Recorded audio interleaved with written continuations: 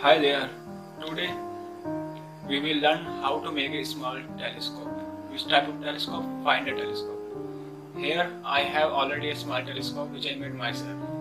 This is a small finder telescope. How to make it? First of all, you need a lens and take a, uh, take a lens from the front of pipe.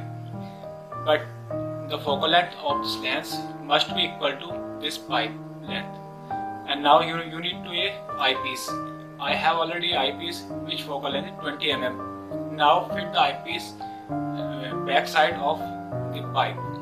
Now this is fit in the pipe and now our finder telescope is ready to watch any of object.